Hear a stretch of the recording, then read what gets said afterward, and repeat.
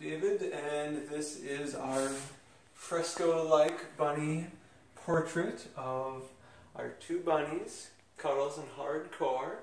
Uh, my wife got it for me as a Christmas gift. It was a great surprise.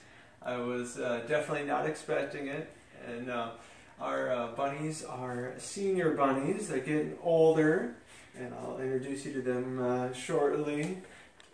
They have uh, had a couple scares, and so it'd be a nice thing to remember them by. So this is hardcore, and he is the larger of the two.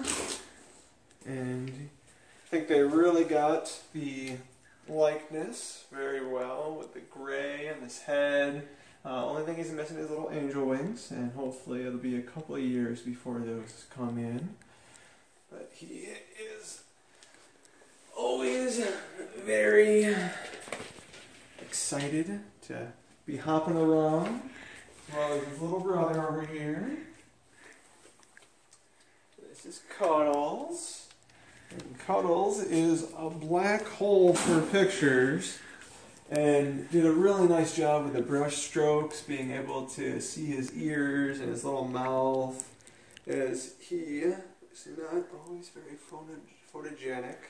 So it is nice to have a painting of him looking up to his brother hardcore. And uh, definitely, I was always joking about getting them uh, mounted and stuffed, and uh, my wife was not a fan of that.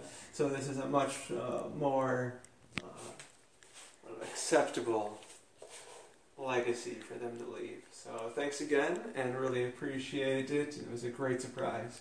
Thanks.